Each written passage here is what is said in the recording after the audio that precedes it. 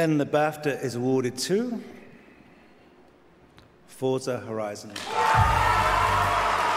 Amazing. Well, what can we say? Realistic cacti, eh? they get the job done. But it also had the longest car list so far in any Forza Horizon game. So we've been looking at your chat messages as well. I'm going to read out one of them now. It says, Forza, baby!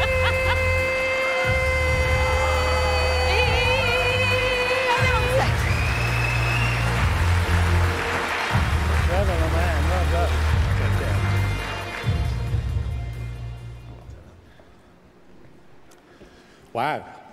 Um, I'm, uh, I'm really honoured and proud um, to represent the team at Playground.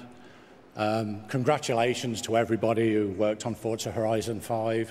Um, there's a bunch of folks in the audience with us, and I know a lot of the team are watching from home um, back at Leamington Spa. Um,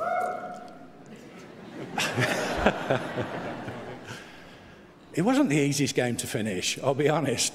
We uh, shipped it in the middle of the pandemic, and uh, it was just truly inspiring working with a team that not only tried to ship the game, but at every turn tried to ship the very best game that they could. Um, you truly are masters of your craft, and uh, I'm delighted um, that you've won this award. Um, a few thank yous. Um, thank you to um, all our friends and colleagues at Turn 10 Studios, um, particularly thanks to Alan Hartman for his uh, direction and guidance. Thanks to Phil and Matt for uh, continuing to believe in what we do at Playground.